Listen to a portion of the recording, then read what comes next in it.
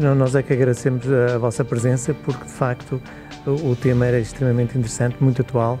Eh, as pessoas que aqui estavam, de certeza absoluta, porque eu já tinha falado com elas antes, não conheciam, eh, pelo menos com esta dimensão e esta profundidade, o tema e, como podemos todos constatar, estiveram extremamente atentas e, portanto, de certeza que absorveram uh, todo, tudo aquilo que disse.